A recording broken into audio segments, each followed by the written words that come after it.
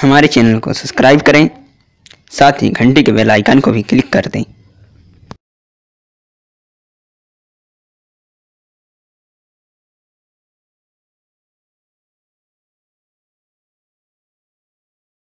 Thank you.